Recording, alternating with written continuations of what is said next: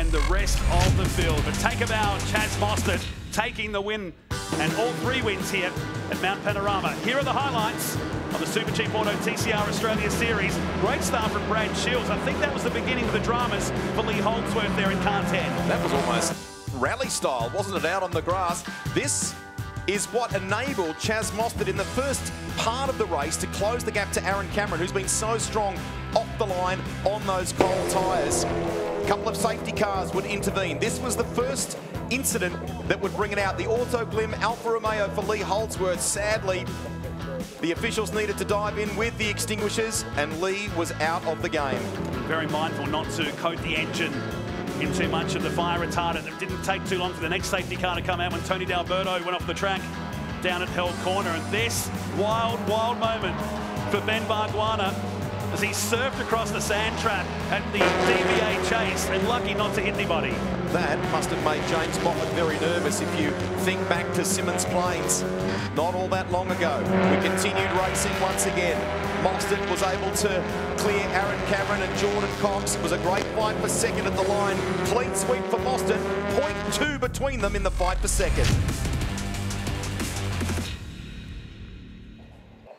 Well, championship-wise, Chaz Mostert now has 63 points over Aaron Cameron, who moves up into second place. Luke King drops down to third. John Martin, a solid weekend, nets him fourth overall now. Holdsworth and Cox fifth and sixth back to Jason Bargwanna.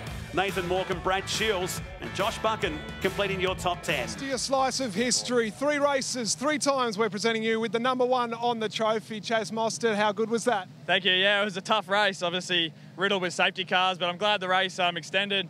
I mean, Aaron Cameron were able to, to have our th three races and three battles. So um, I've had a lot of fun this weekend.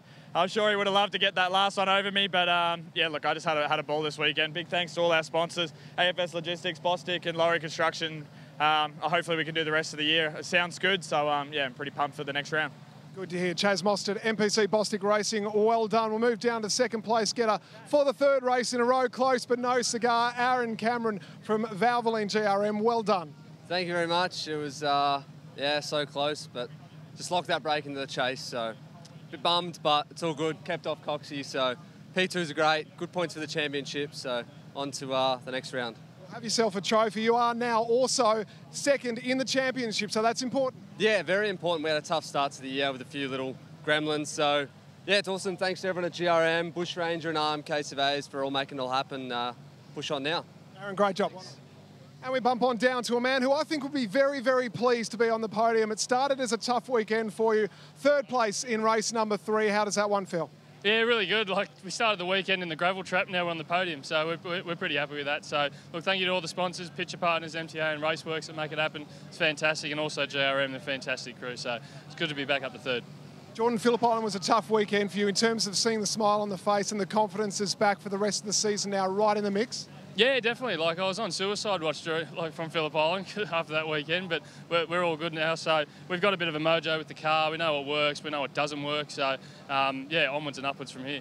Jordan Cox and the team there at GRM, well done. Thanks, guys. Cheers.